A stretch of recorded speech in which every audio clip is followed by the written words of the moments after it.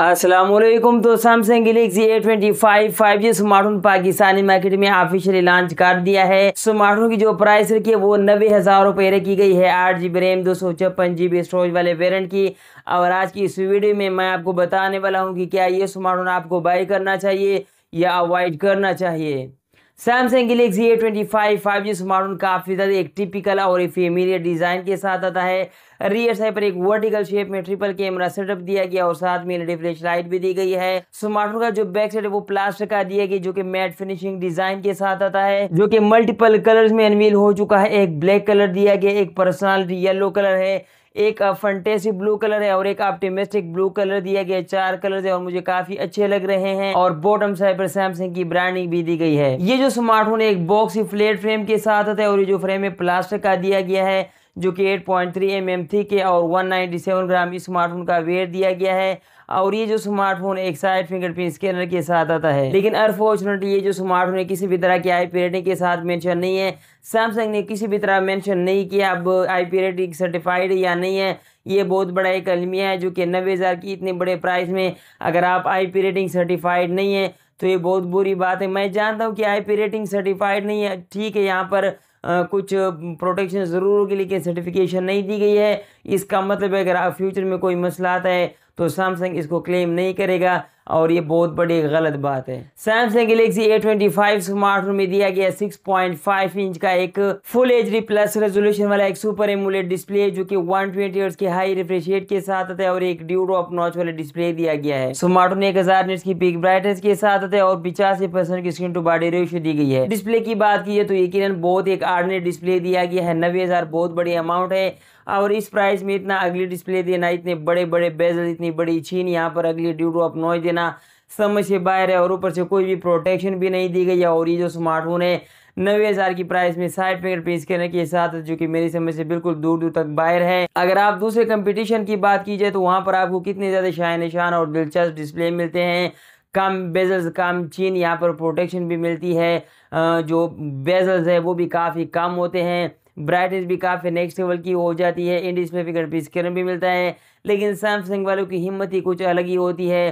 अपनी प्राइस के हिसाब से इतना कमज़ोर जो है वो स्पेक्स देते हैं, जो कि बिल्कुल भी दिल को तोड़ देते हैं, बहुत डिसअपॉइंटमेंट हो जाती है। और ऐसे सैमसंग को आई थिंक बिल्कुल नहीं करना चाहिए। डिस्प्ले वाइज मैं बिल्कुल भी आपको ये स्मार्टफ़ोन रिकमेंड नहीं करूँगा। Samsung Galaxy A twenty five smartphone में दिया गया है एक जोनोस ट्वेल्व एटी का प्रोसेसर जो कि फाइव एन पर बेस है और मान जी सिक्सटी एट का जीपीयू दिया गया है। ये जो स्मार्टफ़ोन है आठ जीबी रैम दो सौ छप्पन जीबी स्टोरेज वाले वेरियंट में आता है।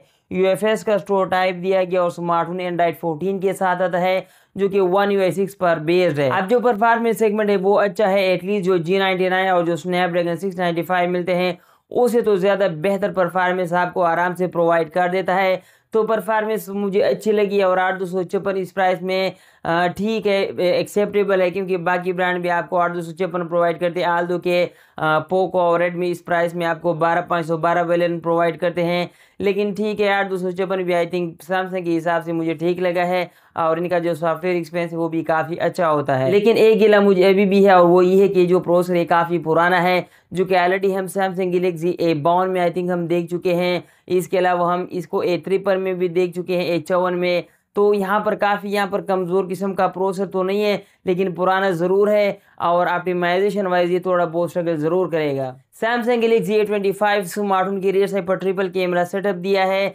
जो मेन कैमरा है वो 50 मेगापिक्सल का दिया गया F one point eight aperture के साथ विद ऑप्टिकल इमेज स्टेबलाइजेशन आठ मेगापिक्सल का अल्ट्रा वाइट कैमरा और दो मेगापिक्सल का माइक्रो सेंसर दिया है, जबकि फ्रंट पर तेरह मेगापिक्सल का सेल्फी कैमरा दिया है ड्यू ड्रॉप नॉच में। स्मार्टफ़ोन रियर कैमरा से फोर के थर्टी एपीएस पर और फ्रंट पर टेन एटी थर्टी एपीएस पर मैक्सिमम रिकॉर्डिंग कर सकता है। कैमरा डिपार्टमेंट की बात करूँ तो अच्छी बात है कि यहाँ पर ओ दिया है लेकिन जैसे कि मैं बता चुका हूँ कि यहाँ पर जो प्रोसेसर है वो भी, भी काफ़ी पुराना है तो ऑफकोर्स यहाँ पर जो कैमरा डिपार्टमेंट है उसको इतना ज़्यादा इजी तरीके से प्रोसेस करना उसके लिए थोड़ा मुश्किल हो जाएगा।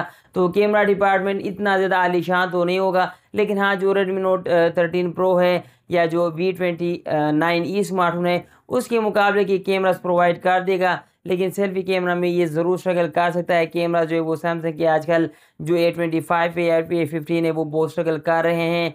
और यहाँ पर मैं समझता हूँ कि ten eighty P sixty F P S पर रिकॉर्डिंग प्रोवाइड करनी चाहिए थी। वो भी यहाँ पर मिसिंग है तो दिल दिल आज़ारी तो ज़रूर हो जाती है। और यहाँ पर मैं समझता हूँ कि नबे हज़ार की प्राइस में जो तेरह मेगा का सेल्फी कैमरा दिया, उसको इम्प्रूव करना चाहिए था। प्रोसेसर थोड़ा पावरफुल होता तो यहाँ पर जो कैमरा ऑप्टिमाइजेशन है, वो और भी ज़्यादा बेहतर निकल के आती। पचास मेगापिक्सल का कैमरा अच्छा है, लेकिन आपको फोटोग्राफ में ज़्यादा डिटेल देखने को नहीं मिल सकती। तो ये चीज़ आप ज़रूर मिस करेंगे। Samsung Galaxy A twenty five smartphone में पाँच हज़ार एच की बैटरी दी गई है और ये स्मार्टफ़ोन सिर्फ़ पच्चीस वाट की फास्ट चार्ज दी गई है। टाइप सी पोर्ट और ये स्मार्टफ़ोन हेडफोन जे के साथ भी आता है और डो ज़ीरो स्पीकर दिया गया है। अब आप देखिए कि नब्बे हज़ार रुपये के हिसाब से अगर देखा जाए तो पच्चीस वाट की जो चार्जिंग है वो बिल्कुल ना होने के बराबर है। नब्बे हज़ार, अस्सी हज़ार इस प्राइस में आप जो ब्रांड है वो कम अज़ कम सतासठ वाट या पैंसठ वाट की चार्जिंग प्रोवाइड करते हैं। कोई भी ब्रांड इसे कम फास्ट चार्जिंग नहीं प्रोवाइड करते हैं। पच्चीस वाट बहुत कम है। एटीज यहाँ पर पैंतालीस वाट को फास्ट चार्जिंग देनी चाहिए थी। और सबसे बड़ा मसला ये है कि जो स्मार्टफ़ोन है, किसी भी तरह की चार्जिंग के साथ नहीं है तो जो चार्जर ब्रिक है, वो आपको अलग से बाय करना पड़ेगा, जिसका मतलब है जो कि स्मार्टफ़ोन है, वो कम अज़ कम आपको पाँच हज़ार रुपये और महँगा पड़ेगा। यानी पचानवे हज़ार रुपये स्मार्टफ़ोन की प्राइस निकल के आती है। तो आई थिंक मेरे नज़र में ये जो स्मार्टफ़ोन है, किसी भी एंगल से जस्टिफाई नहीं करता है। एक्सेप्ट स्मार्टफ़ोन जो परफॉर्मेंस है या इसका जो सॉफ्टवेयर एक्सपीरियंस है, वो थोड़ा बेटर हो सकता है। बाकी तमाम जो चीज़ें, या तो इस प्राइस के हिसाब से ही है, या उसे कम, कमज़ोर कम्प्रोमाइज़ स्पेक्स लेके आता है। तो डेफिनेटली यहाँ पर मैं आपको बिल्कुल भी स्मार्ट रिकमेंड नहीं कर सकता हूँ। आपको वी ट्वेंटी नाइन ई की तरफ़ जाना चाहिए रेडमी नोट थर्टीन प्रो की तरफ़ जाना चाहिए इवन कि इस प्राइस में आपको इन्फिनिक्स ज़ीरो थर्टी जो कि बहुत ही एक लाजवाब स्मार्टफ़ोन है, वो आपको बाई करना चाहिए। पोको एक्सिस प्रो भी मिल जाते हैं तो डेफिनेटली वो ज़्यादा बेटर ऑप्शन बन जाते हैं। इसे कम प्राइस में भी रेडमी नोट थर्टीन प्रो पिछहत्तर हज़ार रुपये में आठ दो सौ छप्पन वाला वेरियंट प्रोवाइड कर रहा है। वो आपको ज़रूर बाई करना चाहिए। ये स्मार्टफ़ोन मेरे लिए आपको रिकमेंड करना थोड़ा मुश्किल हो जाता है। चूज़ वाइजली अल्लाह हाफिज़।